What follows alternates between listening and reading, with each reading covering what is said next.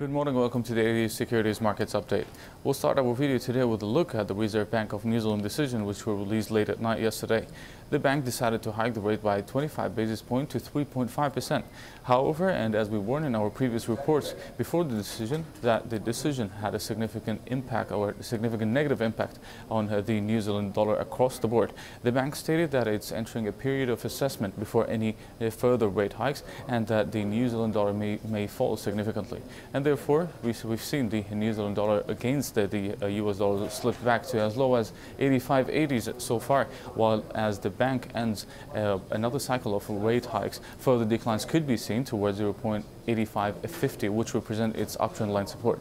In Japan, trade balance deficit increased further to 1.08 trillion yen in June, from 0.86 trillion yen, while it had been anticipated to widen further to 1.11 trillion yen. In Japan also, manufacturing PMI also came in with a, disappoint with a disappointment, declining to 50.8 in July, down from 51.5, while it had been anticipated to rise to 51.9.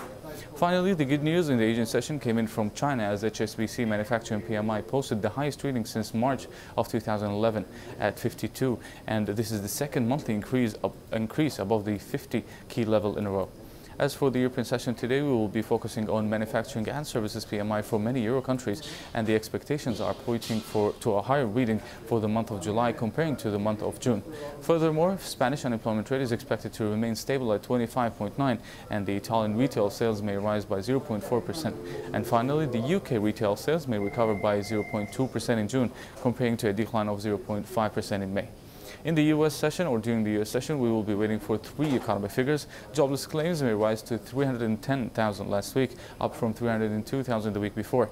Manufacturing PMI may rise to 57.5 in July, up from 57.3. And finally, the new home sales may is expected to decline back to 485,000 in June, down from 504,000 in May.